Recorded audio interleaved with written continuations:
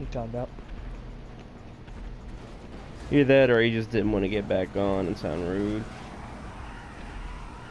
Well, neither one, man. It's his choice. Dude, I got all three. Well, that's depressing. Oh, yeah.